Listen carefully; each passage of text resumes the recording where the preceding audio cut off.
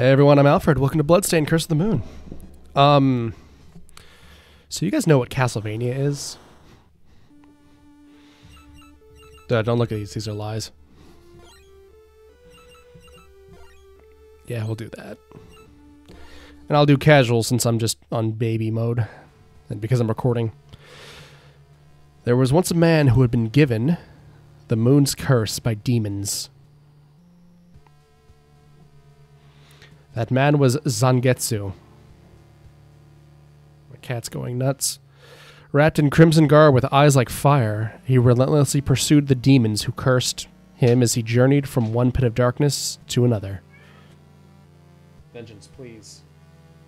He would stop at nothing until he struck down every last demon in his path. One night he sensed the looming presence of a great demon.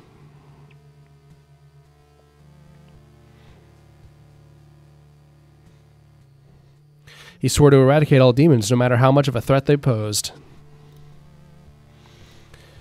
Bathed in moonlight, he cried out as he drew his sword, which consumed the darkness from within its wretched steel.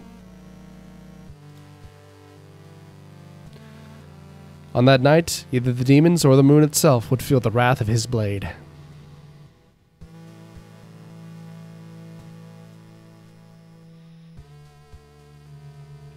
Just got this picture of myself over here because I need to fill the void because otherwise we get weird stuff.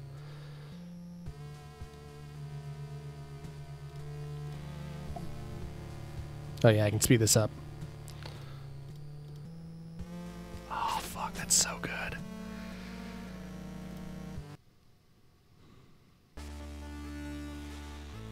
All right. Let's boogie. For those who don't know, Castlevania is a NES game from the 80s. It's known for being really hard.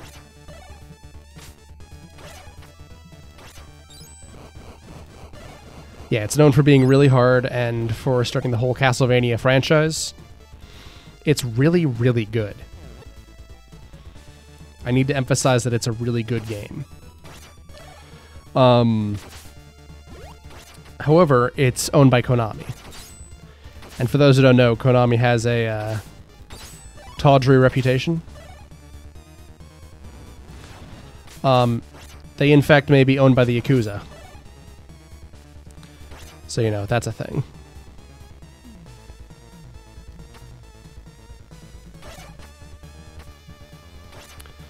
So the as often happens with stuff like this, uh, especially with Konami stuff, um, the guys left the company in the same way that um,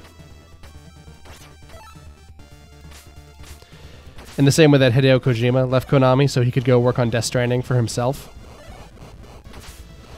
Uh, I think his name is Igarashi. I forget his first name, but I know that his last name's his family name, I believe, is Igarashi. Fuck. Igarashi left to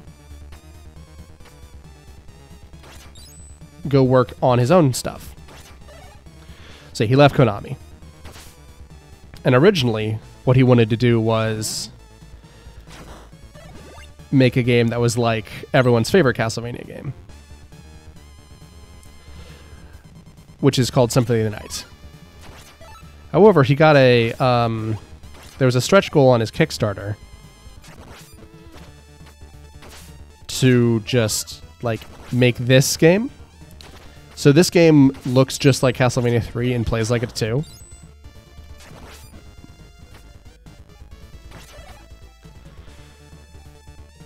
this game was a Kickstarter stretch goal. The whole game was made as a stretch goal, which is kind of interesting, right?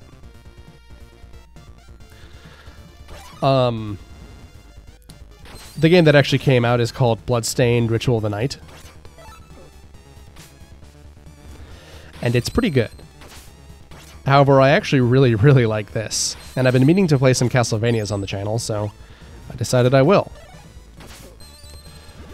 And so I am. So yeah, here we're playing as Zangetsu. Zangetsu is has a color palette that matches Simon and Trevor Belmont's in Castlevania 1 and 3. Um, in Castlevania 2, Simon has. This is the whole thing. Let me let me talk about this some more. So you can see that I've been using my sub weapons.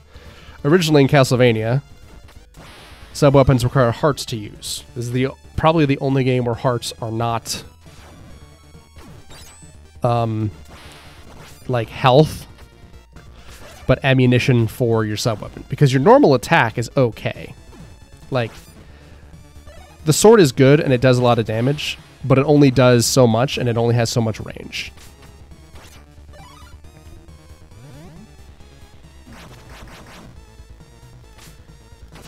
It also takes a. Actually, no, the sword doesn't do that. But the sword can only hit directly in front of me, which is a problem. However, I don't need to worry about that with other weapons. The ball and chain, which is one of Zangetsu's some weapons, allows him to hit uh, up and above him, diagonal. And the uh, other thing, the little flames, allows him to throw a little uh, to throw a little. I'm trying to think, but nothing's happening. Sorry, everyone.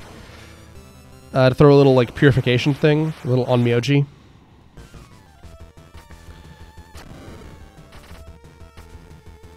Because he's like a samurai, so all of his stuff is like Japanese.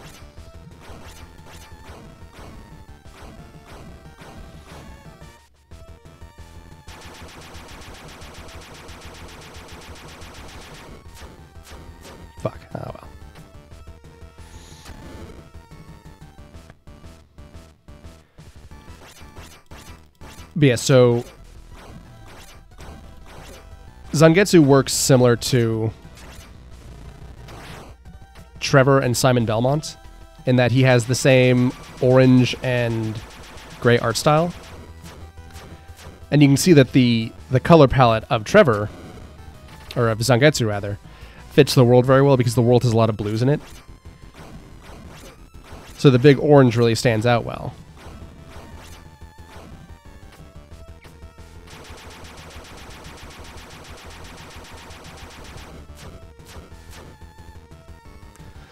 Um, in Castlevania, Simon and Trevor have access to.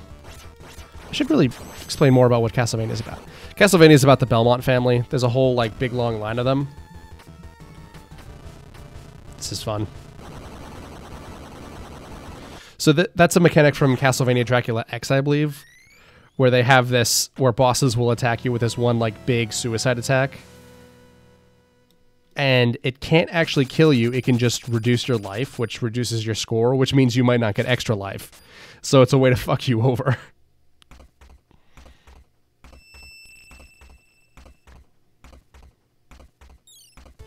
All right. So this is a mechanic from Castlevania 3. Party members. Thank you for saving me. Was it the demon's power you used to seal that beast? You, you're a shard binder.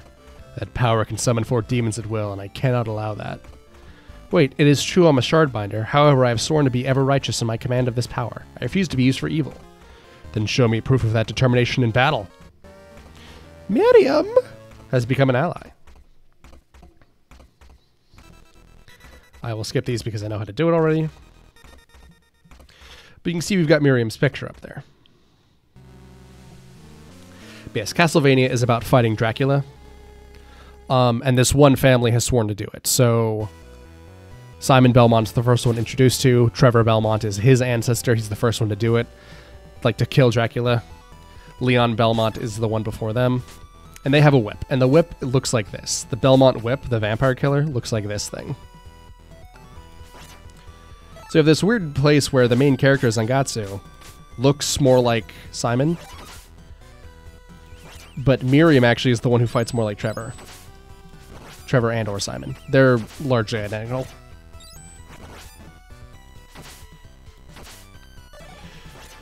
So you can see that the whip is a little slower to fire up because the sword is just like bam very quick, but this one has a lot more range. You can see we cover a lot more of the screen as opposed to this which can only touch that brick. This goes all the way over there to that brick. Um In addition, Miriam has a higher jump. So while he can barely clear that, she can really pound that. And Zangetsu has to get really close to guys like that to deal with their shield. But she can just stand away and whip. So I actually like playing as Miriam more than I like playing as Zangetsu. Zangetsu's main use is uh, the all the damage he can do.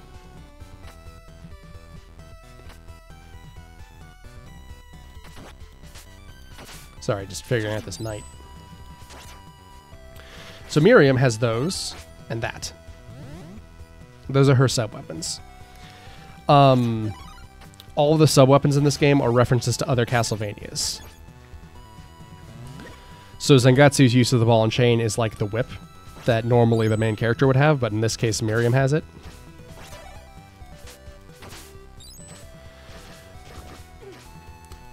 Zangetsu being a cool demon guy with a sword is possibly a reference to Alucard, but there is a even more Alucardy character in this game. Um, Miriam having a weapon that attacks diagonally, like these triple knives, is the most similar to the axe from the classic Castlevanias. Yep. The ball and chain is kind of like nothing, but this thing, the holy paper, is similar to the holy water. And you can see that there's actually different ways for every character to deal with this. Because Zangetsu can throw holy water. Holy paper, sorry. Whereas Miriam can just crouch and whip it. Zangetsu can't possibly reach.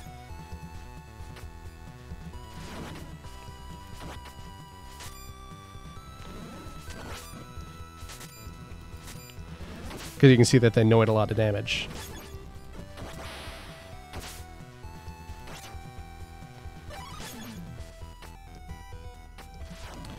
So one thing about um, Castlevania that carries over to Bloodstained is that um, there, you don't control your jump. Like in Mario, which had already come out by the time of Castlevania,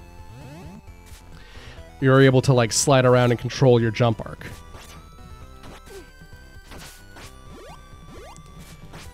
Whereas in this game, you don't do that.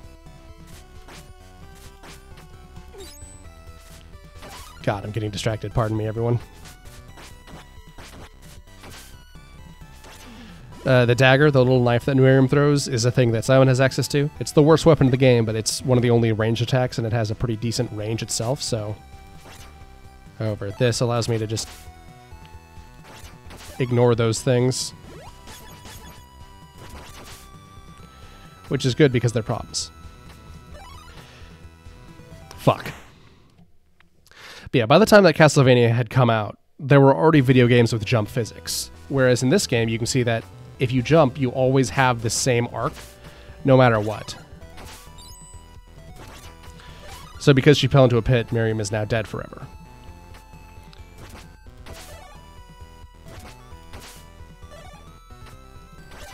And if she were alive, I could actually hop up there, I think. Or no, I think you need Gebel. Gebel.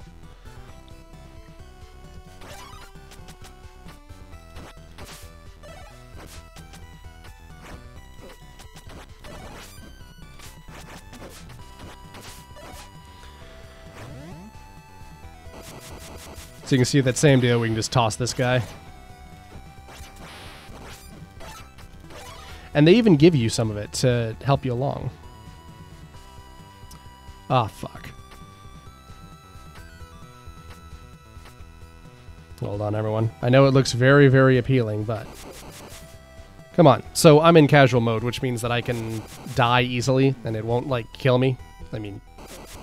Come on. It... it Sorry, that was a stupid thing to say.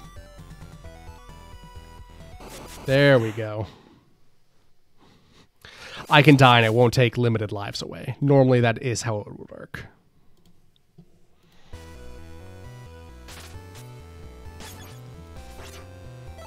Oh yeah, there's this thing. So this is based off the combat cross. Goes away and comes back. So it hits things twice. It's fantastic.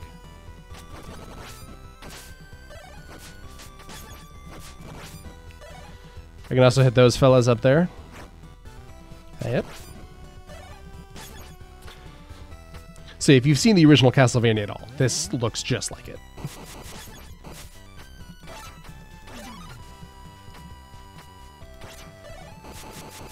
So there's a thing we haven't talked about. If you crouch and then jump as Miriam, you do a little slide. This allows you to pit through gaps that are only one block wide and too small for most characters to fit through.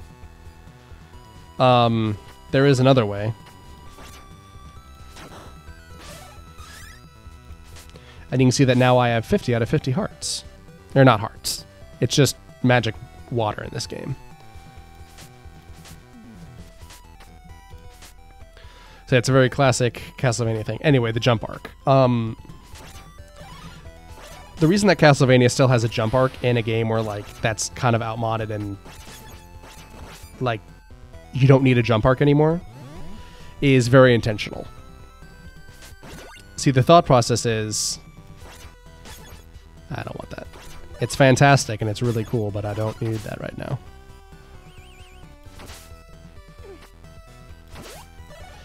Anyway, the idea of the jump arc is to give your character a move set. Second boss.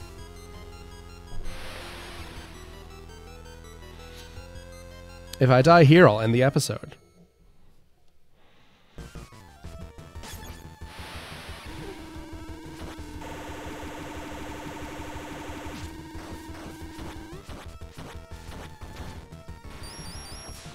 So with that high jump, I'm really easily able to clear that. And then he shoots down those things.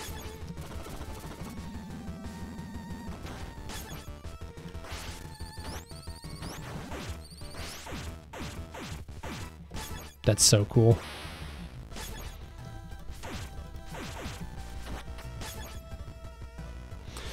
So I believe Zangetsu actually does more damage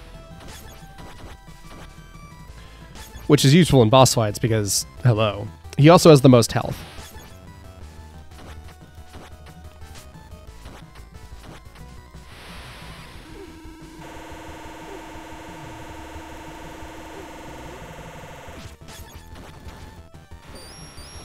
So you can see that Zangetsu has a little problem. So if I switch between my characters effectively,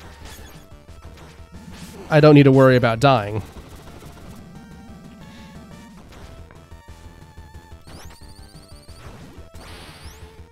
Yeah, come on, bring it on.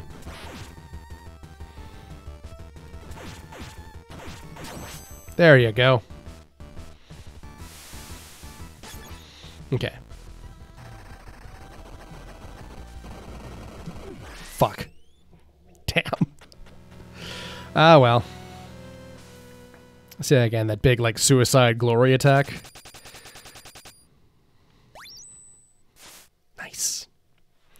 So we're picking up a character that you'd think I would like more. But I have reasons for not liking him.